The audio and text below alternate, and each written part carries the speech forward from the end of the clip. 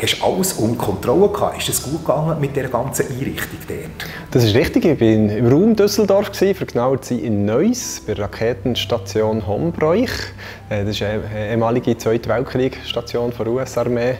Und dort haben sie ein Museum drauf gebaut, ein kulturelles Museum äh, von Langen Foundation. Und der Julian Charrier hat dort seine Ausstellung «Controlled Burned». Und du hast mich gefragt, ob ich alles unter Kontrolle habe oder KH. Äh, nein, nicht in jeder Phase. Dennoch äh, haben wir alles dazu, dafür gemacht, für die Kontrolle zu behalten und zurückzugewinnen.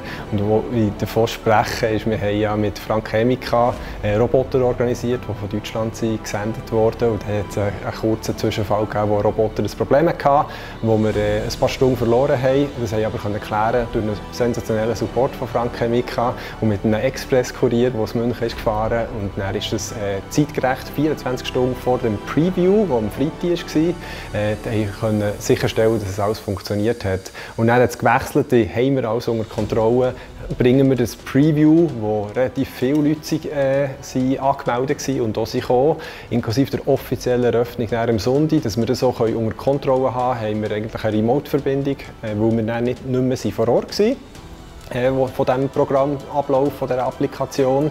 Und dass wir das können live überwachen können, äh, haben wir das, äh, ja, noch uns weitergebildet, wie kann man das machen, wie kann man das sinnvoll machen, auch im industriellen Kontext von Applikationen. Und da haben wir eine App gemacht, äh, wo du sicher schön darstellst, wo man jetzt live die Applikation sieht. Da ist eine Seite auf der, auf der linken Seite, welches Programm das läuft oder welchen Status das System hat.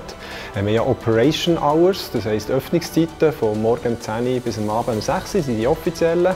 Und äh, wir haben eine Anzeige, ob, äh, ob, der Service live ist, sprich ob der live ist, ob er läuft. Und wenn der nicht läuft, das haben wir so drin, dann ist irgendein Problem, wo wir dann eine Meldung bekommen und auf das System können remote und mal erste Analyse machen, was ist. Und allenfalls, ja, durch das, dass wir das das erste Mal machen, mit Steinen hauen, äh, kann so sein, dass man dann vor Ort muss gehen muss. Und das braucht auch gute Absprache mit dem Kunden, äh, das ärztliche Verständnis hat bei mir.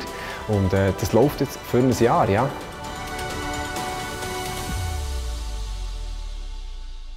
Also ich muss zuerst mal sagen, dass ich nicht äh, kunstaffin bin.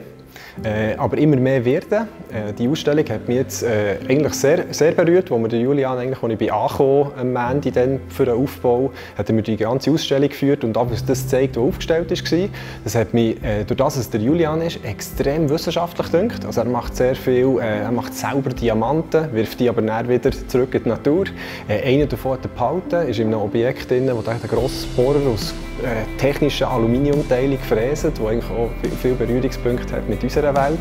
Äh, er hat Elektronik in Lava äh, eingegossen und stellt die dort aus. Dann, wie du angesprochen hast, mit einem Solarpanel.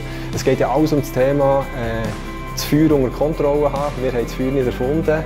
Äh, mit neuester Technologie eben versucht, ganz altertümlich wieder Feuer zu machen. Das was die zwei Roboter machen. Das ist der technische Aspekt, der mich sehr anspricht. Äh, in diesem Kontext von Kunst ist es dort ein Museum, das bombastisch gebaut wird, wo, wo, wo geklotzt wird, ehrlicherweise, wie es auf mich, auf mich wirkt. Es ist halt die Welt, die ich jetzt auch lernen kennen. Am Freitagabend haben sie anscheinend im Unwissen von mir, äh, leider hätte ich so, also jetzt soll der bleiben, eine riesige Party gefeiert. Äh, wenn man das mir gesagt hat, hätte ich wenigstens die Roboter noch angelassen, die könnten mittanzen. Und äh, das ist die Welt, die mich braucht. Aber das, was mir geblieben ist, ist wirklich das, der, durch Julian, wo die Kunst, wo er die Art von Kunst, die macht, wo sehr, sehr technisch ist und äh, sehr wissenschaftlich ist und auch wissenschaftlich auf eine Art und Weise fundiert ist. Und er tut das in seiner Kunst ausdrücken, dass man sich darüber Gedanken muss machen muss. Äh, jetzt im aktuellen Thema mit Klimaerwärmung, mit äh, Braunkohle, er hat dort einen Braunkohleboden gemacht äh, in, in einem Ausstellungsbereich, wo der Urwald dargestellt wird, wo extrem, und ich dort zuerst mal reingelaufen bin, wo ist das Ende des Raums, dabei haben sie es einfach mit Spiegeln gemacht, mit hochglanzpolierten Spiegeln und man muss immer, jeden Schritt, den man macht, muss aufpassen, dass man nicht in einen, in einen Glasspiegel reinläuft äh, und dennoch ist der Raum riesig und der Boden dort sind Braunkohleplatten, die sie selber abgebaut haben, selber poliert haben. Ich habe den, den Herr gesehen, der das gemacht hat, der vor Ort noch den Boden poliert hat, äh, komplett schwarz war. Äh, und es ist ein riesiger Aufwand für ein Kunstobjekt, äh, wo unserer Welt so mit Aufwand, Ertrag, Effizienz einfach völlig äh, differiert voneinander.